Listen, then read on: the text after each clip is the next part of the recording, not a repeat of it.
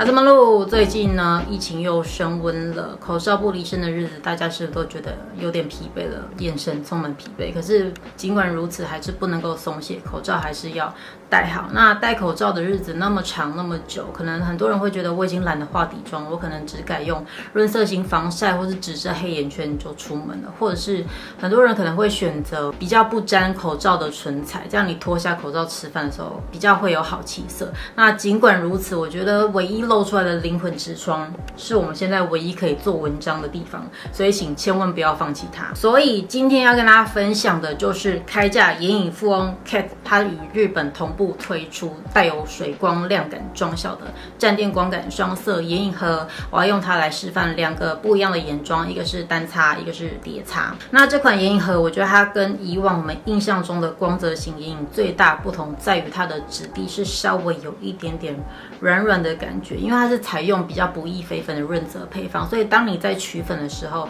甚至刷色，你都可以感觉到，你可以一笔到底，它很服帖，然后水光感带有点透明度的效果。所以我觉得这种质地在开家眼影里面算是还蛮少见的。全新推出的八个色号中，除了有 Kate 非常擅长的珊瑚橘红色调 Aura 一，也有适合日常的大地米色 BR 一和奶茶色 BR 二。那也有一些像 NV 一、PK 一以及 PU 一这类型像独角兽一样的梦幻配色。那如果你喜欢特殊色的话，也可以参考 Aura 二以及 YL 一这两盘，他们有开价眼影非常少见的蕨类黄绿色调，所以还蛮值得关注的。那我们就直接进入到上妆的步骤，会一边上妆一边跟你们分享站电光感双色眼影和它的特别之处。那我们就开始吧。好，那我们现在回到眼妆全素的状态。首先眉毛我们要使用的是双用立体眉彩笔 W 锐角扁平星限定组的眉笔，先用眉笔这端来描绘眉中到眉尾的轮廓，因为它是这种扁平的笔芯，所以它用来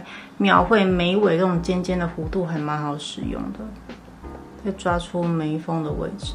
然后轻轻的把你想要的眉形给勾勒出来就可以了。再用另外一头的眉粉，轻轻的填补眉头的地方，可以由下往上轻轻的带。最后再用限定组里面的三 D 时尚眉彩膏来处理眉头的毛流感，轻轻的由下往上梳就可以了。这样子左边的眉毛就完成啦。看一下对比，右边还没有画眉毛。左边是眉毛已经完妆了，那两边的眉彩都完成之后呢，再就是我们今天的主人公站电光感双色眼影盒，要使用它来完成今天的第一个眼妆。那这款眼影它最大的优点就是它的质地非常的服帖，所以不管是用指腹沾去，还是你搭配刷具，它都蛮容易去抓粉的，所以它不太会有掉粉还是不服帖的问题。那首先呢，我要先以指腹沾取眼影盘中的这个浅色来上妆。先用眼影盘中的浅色打亮眼头到眼中这个地方，你看它真的只是轻轻一拍，它上面的亮粉啊、亮片几乎都服帖上去了，眼下也没有什么掉亮片，所以它的服帖效果真的还蛮优秀的。我觉得很适合赶时间的时候用，就算你手边找不到刷具也没关系，你只要这样轻轻的抹一抹、拍一拍就可以了。稍微再叠个第二层。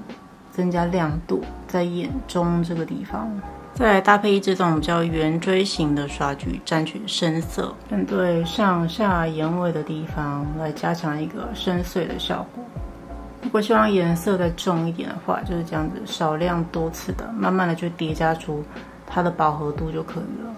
下眼尾的地方也用同样的深色，轻轻的带过。再来呢，一样搭配是比较圆锥形的刷具，沾取浅色，轻轻的打亮卧蚕这个地方。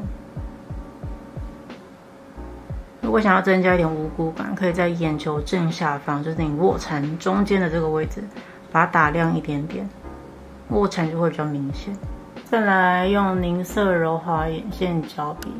从睫毛根部的地方，眼尾轻轻的往后带一条眼线。再慢慢的往前描绘衔接就可以了，不用太粗，因为这个眼妆我比较希望呈现适合日常的感觉，所以有点隐形眼线的效果就可以了。最后上下睫毛都用双重记忆眉睫卷翘膏刷上就可以了。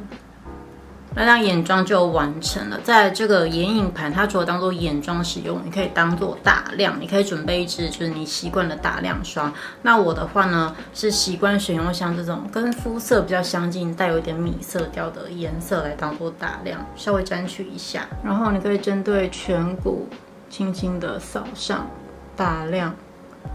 有没有？这一块就亮起来了。所以它除了当做眼影，也可以当做打亮使用。我觉得还蛮多功能的，就是带一点到你的鼻梁啊、鼻头都可以。这边有打亮，有没有？这块那种亮度还蛮明显。那这边没有打亮。会比较平面一点。那因为这款眼影它本身的妆感就是属于那种亮片一闪一闪比较明显的，所以你搭配在这种就算比较日常、比较大地清淡的色调妆容来使用这种打亮效果的话，也会让你的妆感变得稍微有点小华丽、小精灵的那种效果。所以当打亮的感觉，我觉得也蛮漂亮的。这个唇彩要选的是迷你怪兽极持色唇膏。这款唇膏刚推出的时候讨论度真的很高，因为像疫情期间口罩真的是不要随便脱下来，但是偶尔也是会有脱下口罩喝水还是吃东西的那个时刻嘛。我们都会希望说，我今天眼妆、底妆、夹彩都很完整的，可是如果不擦唇彩，好像又觉得少了一点什么，还是会希望脱下口罩的时候，至少整个气色、妆容看起来是完整，但是又不希望唇彩它不够防粘，反而让你的唇边变得很。脏还是唇印粘的口罩里面到处都是嘛，所以这款怪兽级持色唇膏它的防粘效果是真的还蛮好。那这款呢，它是迷你珠光限定色，所以它的妆感一样会稍微带有点透明感，跟一闪一闪的亮片效果，我觉得跟今天的眼妆还蛮搭的。包装上面有很可爱的小怪兽插图，而且它的体积真的很小巧，所以像有时候你带那种小费包啊，也可以随手的把它塞进去。近看它的切面，就会发现它里面有很多细致的小亮片在里面。刷起来的质地手感也是很滑顺的，它的润泽效果还蛮好的。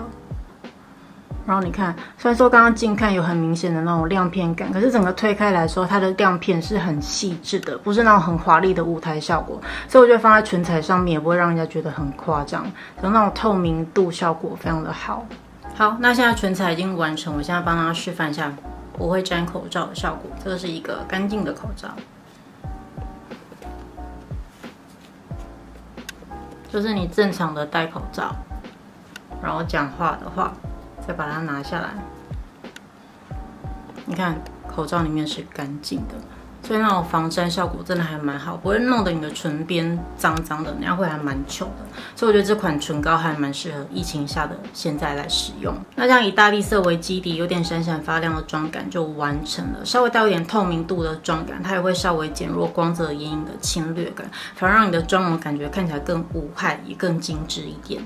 再来示范叠擦的效果，首先使用创影立体眼影盒中的雾面打底色，晕染整个眼窝。再用同一个雾面色带到卧蚕以及下眼头的地方。再来呢，使用眼影盘中比较深一点的雾面重点色，加强晕染在眼尾的地方。再用站店光感眼影盒里面的深色，右边这个重点色，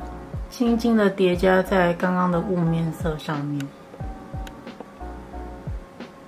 再来用指腹沾取这个有点偏光感的绝绿色。静静的点亮在眼皮中间的这个位置，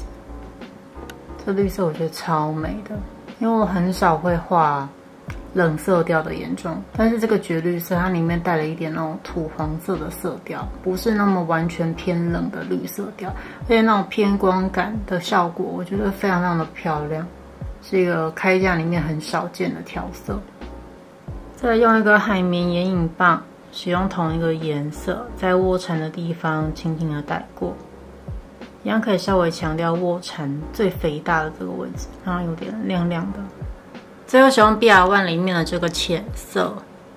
针对眼头以上眼皮前段的地方做打亮，最后在局部点亮卧蚕的地方。眼影都完成之后呢，一样使用凝色柔滑眼线胶笔来描绘眼线。一样沿着睫毛根部的地方，轻轻的描出眼线就好。那越靠近眼尾的地方，可以让它稍微有点往上飞扬的弧度。如果平常上班眼妆不敢太夸张，你白天可以先用创影立体眼影盒上妆，下班后参加尾牙还是约会，你可以再用站店光感双色眼影盒叠加去增加那种闪亮的感觉就可以。然后这样两个妆容就都完成了。那这个站店光感双色眼影盒呢，我觉得它最大优点就是它体积很小巧，很好携带，再就是它的妆感很好操作。今天就算你是带在包包里面，然后你想要下班补妆，可是你忘了带刷具也没有关系，因为只要记得把你的手洗干净之后，这样轻轻的按压取粉，再拍在你的眼皮上面，它一样可以呈现一个很服帖，然后很显光泽的妆效。所以，我我觉得不太会因为有没有刷具这一点去影响它的妆效，帮它加了还蛮多分的。再就是它稍带一点透明度，布灵布灵的水光感妆效，我觉得还蛮适合放在新的一年的开始，也就是现在，因为新的一年开始可能都会想要稍微转换一下心情啦，或者想要让自己看起来稍微有点不太一样，想要华丽登场，我觉得还蛮适合使用这种闪亮亮的眼妆。画完眼妆之后，真的会让自己有种莫名心情愉悦的感觉，大家也可以尝试看看。那如果想要当做打亮的话呢，我觉得要特别注意的是，因为它本质就是眼影，而且是走那种亮片感比较明显的眼影，所以如果你期待它是像那种曝光型打亮的话，它不是那个路线。但是如果你是喜欢像小精灵还是独角兽